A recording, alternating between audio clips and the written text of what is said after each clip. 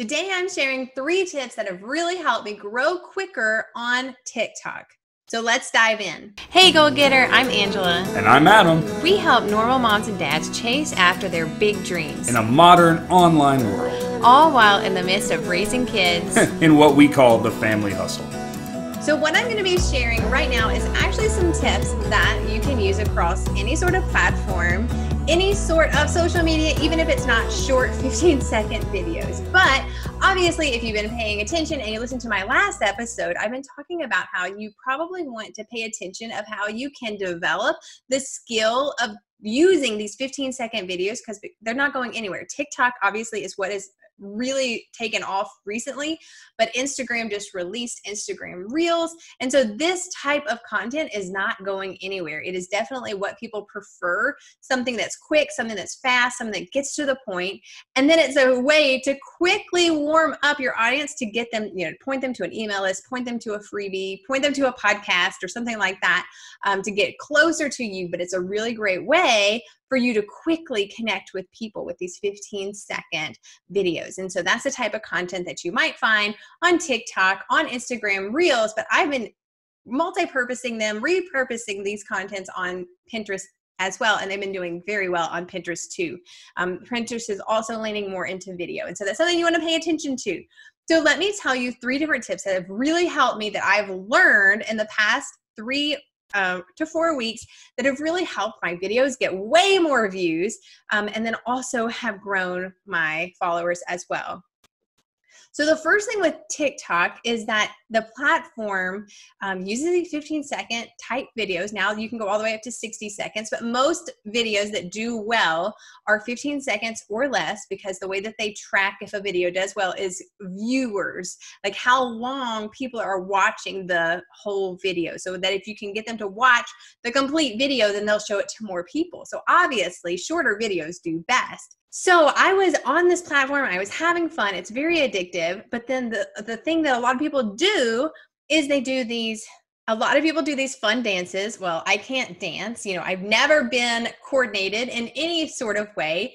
And so I knew that that was not something that was going to work well for me because I'm not going to attract a whole bunch of people for my smooth dance moves.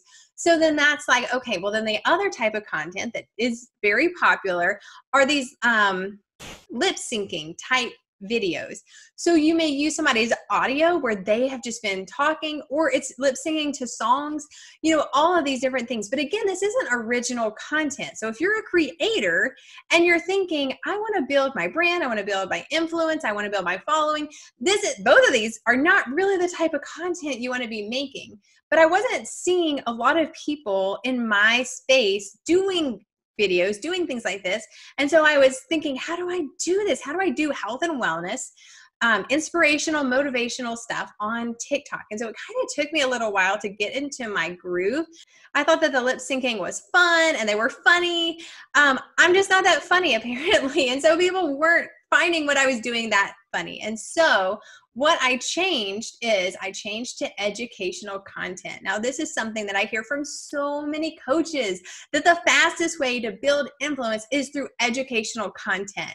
So thinking about, you know, and that's why I love my podcast, my blog. And it's it's a place where I can show up and help people and educate them and maybe teach them something. But on TikTok or now Instagram Reels, how do you do this in 15 second videos? And so that's what I'm sharing today. So a lot of my educational content is like how-to content, but edu- educational content can also just be um, a, an inspirational story or motivational thing, or just a new way of looking at something. Like, hey, did you ever uh, check this video? Have you ever thought about it this way? Um, you know, and so you can think about educational content is different. And so I'm going to tell you a little bit of how I've been doing it in a health and wellness space and how I've really kind of honed into that uh, health and wellness arena.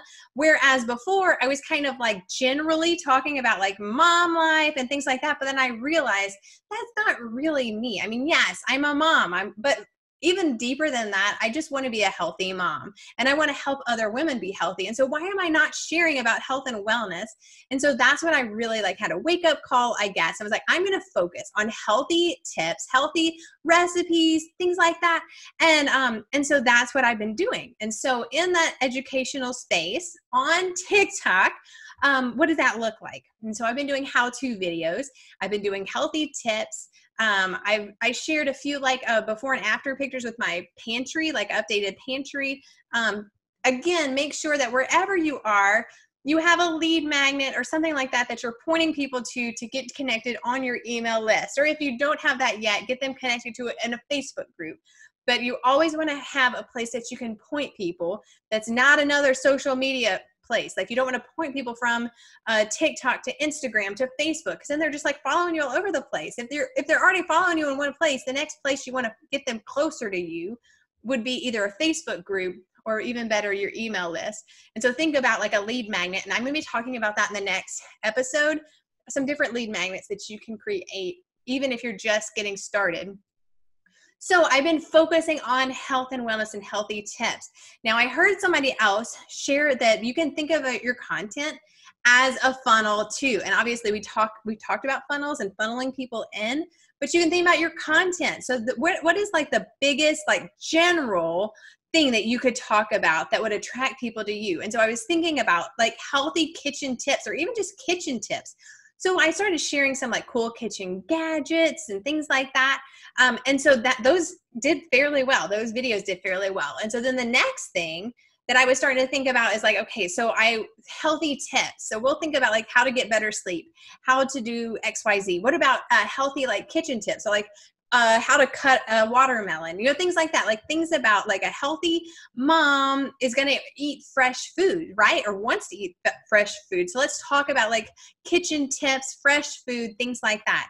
And then the next thing was recipes. So again, you can go from like a broad topic and then you can like kind of funnel people through. Now, if they're following you because of your big, broad topics, then they may see some of your other topics and get more interested. But obviously, you're attracting the most people by those big, broad topics.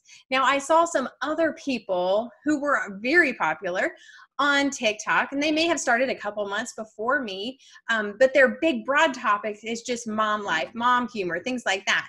But then they start talking about like what's a specific thing, like uh, I'm a toddler mom, you know, and so then then they talk about like toddler activities and things like that, and they're funneling their people in to a specific thing. Or like if you're talking about uh, beauty tips or things like that, you can talk about like mom life and then it's like busy mom like you know things like that like busy mom tips and then like busy mom skincare. So you, it this works in any sort of uh, brand personal brand any sort of thing. You can think about what is my identity who am i really trying to help and let's let's maybe funnel that up and then funnel that back down. Like what's the broadest topic and then what's how do i niche down?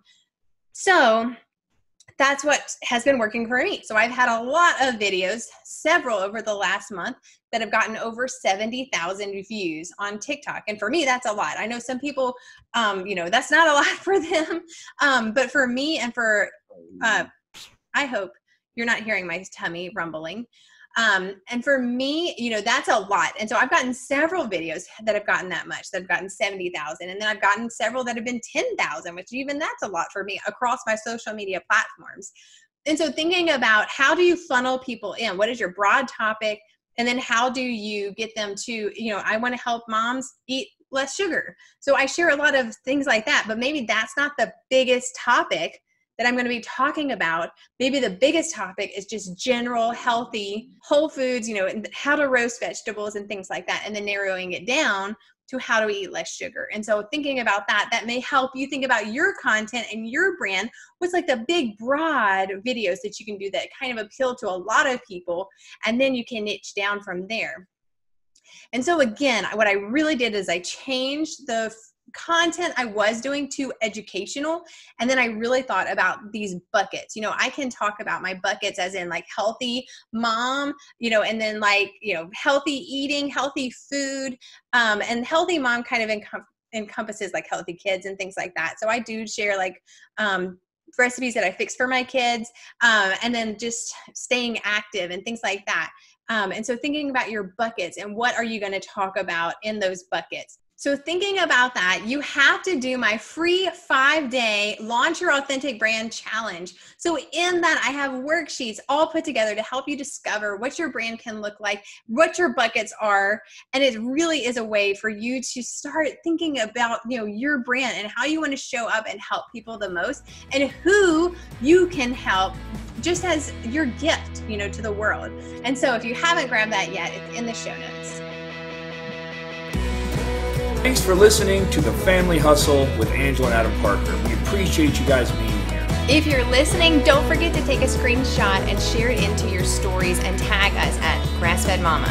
Also, don't forget to subscribe and leave us a review on your podcast player of choice. That helps other people find out about what we're doing, and it's the best thing you can do to help us grow the podcast.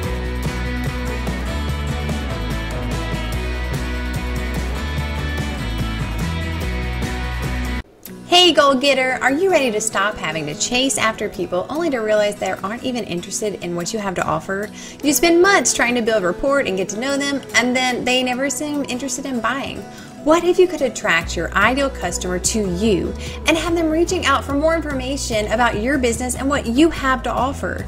If this sounds like something you want more info on how you can put into practice, join our Attraction Marketing Bootcamp, where we take five days to dig deep into discovering what your ideal customer wants and how you can be the most attractive to them through branding and developing a customer journey.